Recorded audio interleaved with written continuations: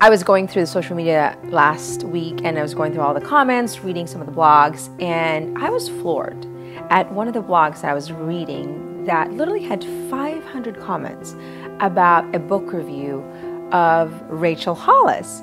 And you don't have to love Rachel Hollis. You can, you know, you you you don't need to love her or agree with her. I was more disappointed about the fact that we were so critical. And it was one criticism after criticism after criticism.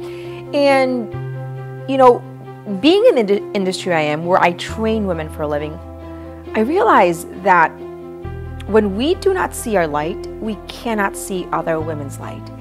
And what happens is that it's so easy for us to become cynical and critical behind um, our screens. Things that we would never say in front of women, we would say so daringly on a computer screen because it's as though they're not a human being.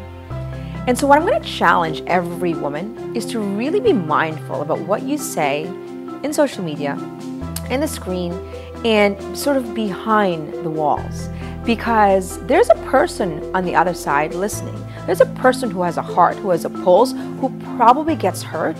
And we are forgetting that every person out there has emotions and has feelings, and we could trample it. And I don't think, you know, that when we disagree, that we have to criticize.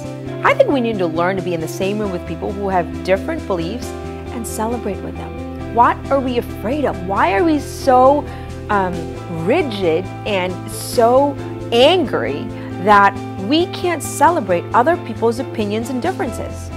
And why do we even bother commenting, you know, criticism after criticism after criticism because it's a waste of time?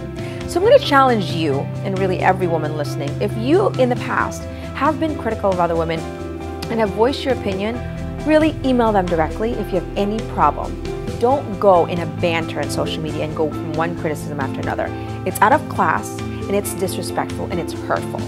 And if you don't agree with it, just ignore it, right? If you don't agree with it, we don't, it's not the platform to be able to really communicate your um, disagreement. It's not the platform because we need to learn to have effective communication. And social media is not the place for us to go banter. It's a waste of time, a waste of energy, and it promotes disharmony. And so that's my challenge for you. And be that woman of grace and class that doesn't engage in conversation that really is critical of other women.